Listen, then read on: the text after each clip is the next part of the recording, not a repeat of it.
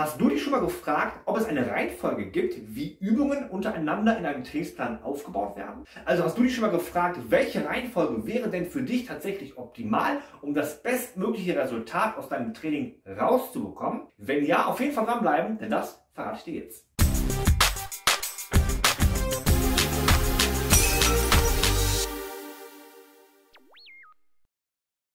Herzlich willkommen zu diesem neuen Video und herzlich willkommen auf meinem YouTube-Kanal. Mein Name ist Nils, ich bin dein Person Trainer und ich werde dir hier in diesem Video vier Tipps mit an die Hand geben, die du nutzen kannst, um auch deinen eigenen Trainingsplan aufzubauen oder aber auch, um deinen Trainingsplan mal zu kontrollieren. Denn es gibt natürlich eine richtige Reihenfolge, wenn man Trainingspläne schreibt. Es gibt also Richtlinien aus der Trainings- und Bewegungslehre, die wir alle, alle Fitnesstrainer kennen sollten und auch anwenden sollen, damit unsere Kunden, also auch du, das bestmögliche Resultat bekommen, aber, aber auch sicher ihr Training durchlaufen können.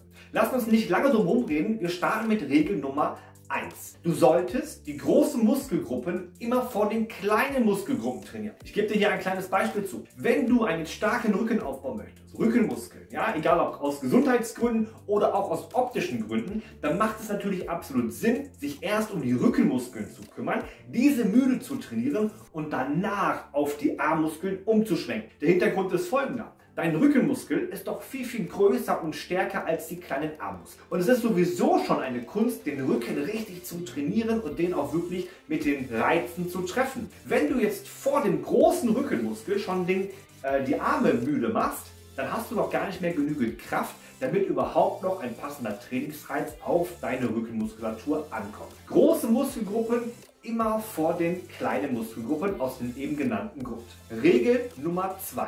Du solltest in einem Trainingsplan immer mit sogenannten Mehrgelenksübungen starten, auch Gepound-Übungen genannt. Das bedeutet, wenn du zum Beispiel deine Beine trainieren möchtest, startest du, wenn möglich, mit der Kniebeuge oder auch mit der Beinpresse. Und erst danach gehst du auf die Isolationsübung. Das heißt, erst Mehrgelenksübungen, dann Isolationsübungen. Der Hintergrund ist ganz einfach. Wenn du natürlich schon von vornherein mit Isolationsübungen startest, ist einfach deine Kraft und auch deine Stabilität in den Gelenken natürlich nicht mehr so gut, wie sie am Anfang gewesen ist. Ich möchte hier einmal ganz kurz sagen, natürlich gibt es auch Trainingsprinzipien, die genau darauf abzielen, mit einer Vorermüdung zu arbeiten, wo man erst die Beine isoliert ermüdet und dann die großen Schwerübungen macht. Aber darum soll es nicht gehen. Das hier ist für die Grundlage für Beginner, für Leute, die neu starten wollen. Ja? Also, du solltest tatsächlich erst die großen, schweren, komplexen Übungen machen und dann, wenn du diese wirklich gut gemacht hast, gehst du weiter und ähm, machst halt deine Isolationsübungen. Ja? Für die Beine, bestes Beispiel, Beinpresse zuerst, Beinstrecker, Beinbeuger danach.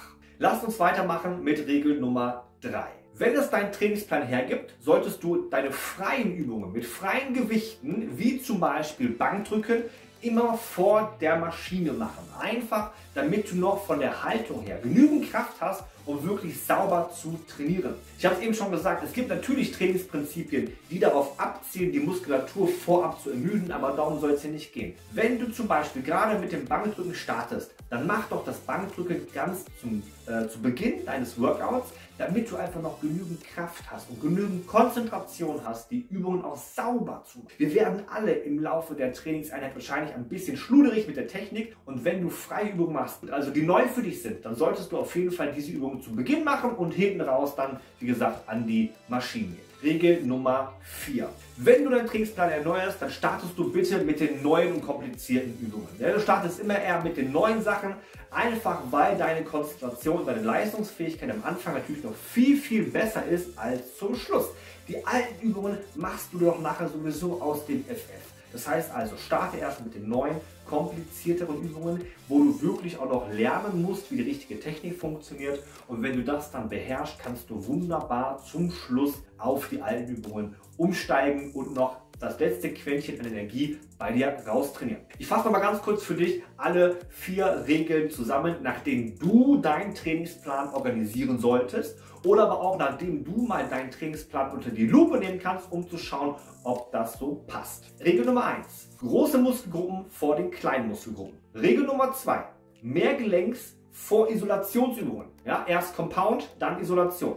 Regel Nummer 3 Du machst bitte zuerst deine freien Übungen, deine schweren freien Grundübungen und gehst danach erst an die Maschine. Und Regel Nummer 4, du machst zuerst die neuen komplizierten Übungen vor den alten, die du schon kennst. Mit den vier Regeln hast du einen für dich sehr grundsoliden Aufbau, die ich jetzt aber noch einmal ganz kurz mit zwei Sonderregeln einmal ganz kurz noch optimieren möchte. Regel Nummer 5, Armtraining immer zum Schluss. Ich möchte dich darum bitten, dein Armtraining niemals zu Beginn deines Trainings zu absolvieren, weil das bedeutet, dass wir gegen Regel 1 verstoßen, ja, und du ganz einfach nicht mehr genügend Kraft in den Armen hast, um die großen Muskelgruppen im Oberkörper wirklich anständig zu trainieren. Das heißt bitte, dein Armtraining immer zum Schluss.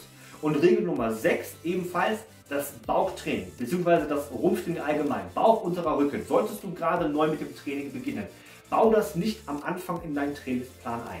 Wichtig, wichtig, wichtig, mach das Bauchtraining auch immer zum Ende, gerne auch noch nach dem Armtraining.